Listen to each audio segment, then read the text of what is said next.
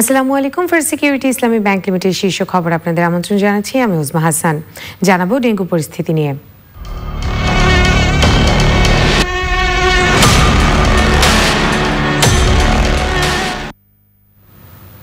স্বাস্থ্য অধিদপ্তরের health emergency operation centre ও কন্ট্রোল রুমের তথ্য অনুযায়ী, সোমবার থেকে মঙ্গলবার দুপুর পর্যন্ত চব্বিশ ঘন্টায় দেশে বিভিন্ন হাসপাতালে এক হাজার দুশো নিরানব্বই জন ডেঙ্গু রোগী ভর্তি হয়েছেন। ঢাকা মহানগরীর একচল্লিশটি হাসপাতাল সহ সারা দেশে বিভিন্ন হাসপাতালে বর্তমানে পাঁচ হাজার তিনশো বাইশ জন ডেঙ্গু রোগী চিকিৎসাধীন রয়েছেন। পয়লা জানুয়ারি থেকে পর্যন্ত ডেঙ্গু আক্রান্ত হয়ে হাসপাতালে ভর্তির সংখ্যা ছেষট্টি হাজার চৌষট্টি জন। ডেঙ্গুতে বুধবার ময়মনসিংহের ত্রিশালে হাফিজুল ইসলাম, খুলনা মেডিকেলে, পিরোজপুরের ভান্ডারিয়ার শাহিদা বেগম এবং যশোর জেনারেল হাসপাতালে রেবেকা খাতুনের মৃত্যু হয়েছে। বেসরকারি হিসেবে ডেঙ্গুতে পর্যন্ত একশো চব্বিশ জন মারা গেছেন। সরকারি হিসাবে মৃত্যু হয়েছে বাবান্ন জনের। কাশ্মীর ইস্যুতে ভারতের জন্য নিজেদের আকাশসীমা পুরোপুরি বন্ধের পরিকল্পনার কথা জানিয়েছে পাকিস্তান। পাকিস্তানের সড়ক পথ দিয়ে আফগানিস্তানের সাথে ভারতের বাণিজ্যের ওপরও নিষেধাজ্ঞার চিন্তা করেছে ইসলামাবাদ। নয়াদিল্লিতে কাশ্মীর ইস্যুতে উচ্চ পর্যায়ের বৈঠক করেছে ভারতের কেন্দ্রীয় স্বরাষ্ট্র মন্ত্রণালয়। আবারও উভয় পক্ষকে সংযত হওয়ার আহ্বান জানিয়েছে জাতিসংঘ। রিপোর্ট আলিমান রাজির। পাঁচ আগস্ট, কাশ্মীরের বিশেষ মর্যাদা বাতিলের পর কাশ্মীর ইস্যুকে কেন্দ্র করেই একে অপরের বিরুদ্ধে পদক্ষেপ, পাল্টা পদক্ষেপে ব্যস্ত ভারত ও পাকিস্তান। এমন পরিস্থিতিতে সবশেষ ভারতের জন্য নিজেদের আকাশপথ পুরোপুরি বন্ধের পরিকল্পনার কথা জানিয়েছে ইসলামাবাদ।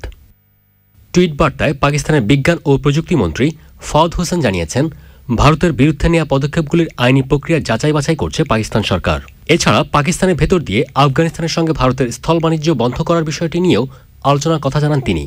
এমনকি কাশ্মীর ইস্যু নিয়ে ভারতের প্রধানমন্ত্রী নরেন্দ্র মোদীকেও সতর্ক করেছেন তিনি।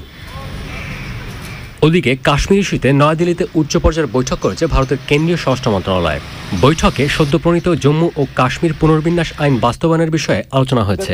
তবে বৈঠকের সিদ্ধান্তের বিষয়ে এখনও চূড়ান্ত কিছু জানায়নি ভারত সরকার। কাশ্মীর নিয়ে দুই পক্ষের উত্তেজনার সংঘাত এড়িয়ে উভয়কে আবারও সংযত হওয়ার আহ্বান জানিয়েছেন জাতিসংঘের মহাসচিব অ্যান্তনিও গুতেরেস। মহাসচিবের মুখপত্র জানান আলোচনার মাধ্যমে কাশ্মীর সমস্যার সমাধানে সব পক্ষকে আহ্বান জানিয়েছেন মহাসচিব। আলিমাল রাজি, চ্যানেল আই। লিবিয়া উপকূলে আবারও অভিবাসী বাহী নৌকা ডুবে চল্লিশ অভিবাসন প্রত্যাশীর মৃত্যুর আশঙ্কা করা হচ্ছে। ভূমধ্য সাগর পাড়ি দিয়ে ইউরোপ যাওয়ার পথে ওই নৌকা ডুবির ঘটনা ঘটে। এখন পর্যন্ত এক শিশু সহ পাঁচজনের মরদেহ উদ্ধার করেছে লিবিয়ার কোস্টগার্ড ত্রিপলি থেকে একশো বিশ কিলোমিটার দূরে লিবিয়ার পশ্চিমাঞ্চলীয় শহর খুমস থেকে মরদেহগুলো উদ্ধার করা হয়। নৌকাডুবিতে পঁয়ষট্টি জনকে জীবিত উদ্ধার করা হয়েছে, তাদের বেশিরভাগই সুদানের নাগরিক। নিখোঁজদের সন্ধানে অভিযান চলছে। নৌকাটিতে একশোরও বেশি অভিবাসন প্রত্যাশী ছিল।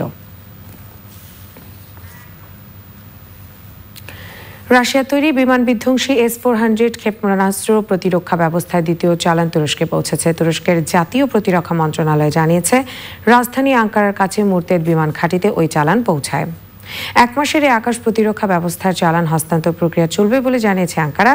এর আগে জুলাই মাসে এস ফোর হান্ড্রেডের প্রথম চালানটি তুরস্কে পৌঁছায়। মার্কিন বিরোধিতা সত্ত্বেও দু হাজার সতেরো সালে রাশিয়ার সঙ্গে এস ফোর হান্ড্রেড ক্ষেপণাস্ত্র প্রতিরক্ষা ব্যবস্থা নিয়ে চুক্তি করে তুরস্ক। এএফসি কাপের আন্ত আঞ্চলিক সেমিফাইনালে দ্বিতীয় পর্বে মাঠে নামছে আবাহনী লিমিটেড ও উত্তর কোরিয়ার ক্লাব এপ্রিল টোয়েন্টি ফাইভ উত্তর কোরিয়ার রাজধানী পিয়ংইয়ং এর ম্যাচটি শুরু হবে বাংলাদেশ সময় বিকেল তিনটায়। ম্যাচটি ড্র করলে এএফসি কাপের আন্ত আঞ্চলিক ফাইনালে পৌঁছে যাবে আবাহনী। এর আগে প্রথম পর্বের ম্যাচে উত্তর কোরিয়ার চ্যাম্পিয়নদের চার তিন করে হারায় আকাশী নীলরা। নিষেধাজ্ঞা কেটে যাওয়ায় মিশরীয় ডিফেন্ডার নাসিরকে পাওয়া যাচ্ছে আবাহনীর রক্ষণ ভাগে আর চোট কাটিয়ে দলে ফেরার কথা রয়েছে অভিজ্ঞ মিডফিল্ডার মামুনুল ইসলামের।